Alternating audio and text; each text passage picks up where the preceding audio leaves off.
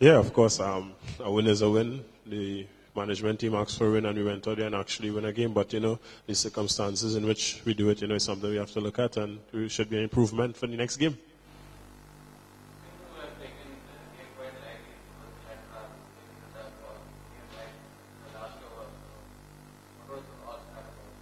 Well, I wouldn't say the guys took it lightly. Um, they were the batters out there, and they actually know what they needed to do at that point in time and what's the best option. And at the end of the day, we came out with a win, so we can't complain with that. But you know, next time we're gonna just try to do it a bit earlier and see how that goes.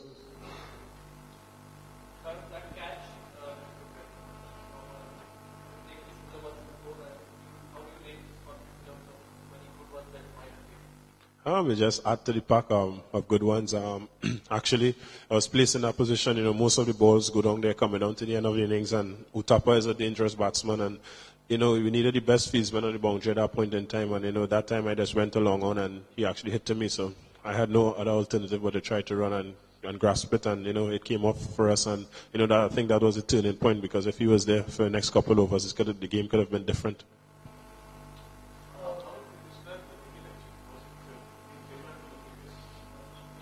Yeah, um, the first match was a very good batting wicket. It was a bit on the slower side this time, but you know, having said that, both teams have to play on the wicket, and they went out there and scored 118, and we had no other alternative but to go out there and get our runs. And I think we went out there, we got the runs. So, you know, whatever situation comes next game, we're gonna just have to be up for it.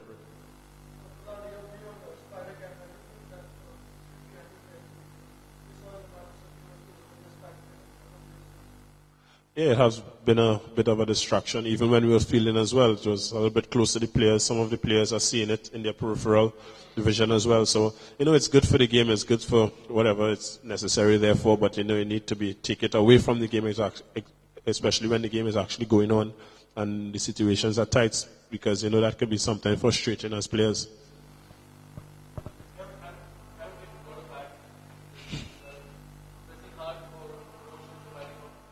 No, I, I won't be pressing hard for a promotion. You know, at the end of the day, we have out of four games, we have won three games, and the game we lost, we scored 183 runs. You know, obviously the batsmen on top, you know, Sachin, Rayudu, and those guys are doing the job for us. But you know, nothing happens before it's time, and hopefully, you know, when my time come around, I'll be able to grasp it and obviously go out there and showcase what I'm over here to do.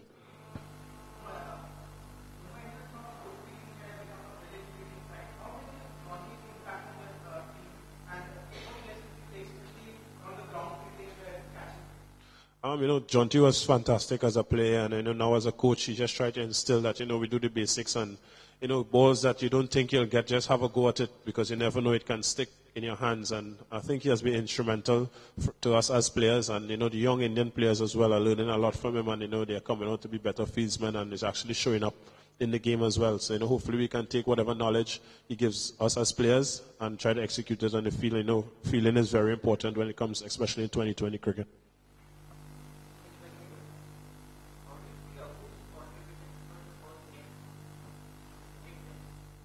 Yeah, it was um, Abu. He really bowled well. Um, he has been bowling well in the nets as well. He has been bowling a lot of balls.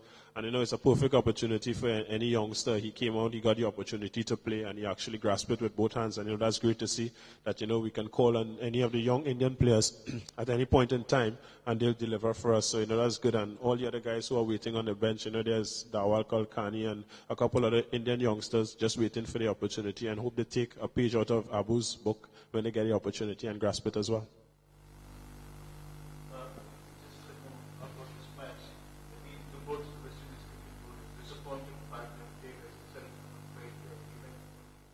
Um, that's out of my hands. Um, you know, that's for Gayle and the West Indies Cricket Board to deal with. Um, I'm here playing for Mumbai Indians, and you know, whatever is going on back home between both of them, I think they're going to come to some sort of solution. And at the end of the day, it's cricket, so I'm not in a position to say anything on that.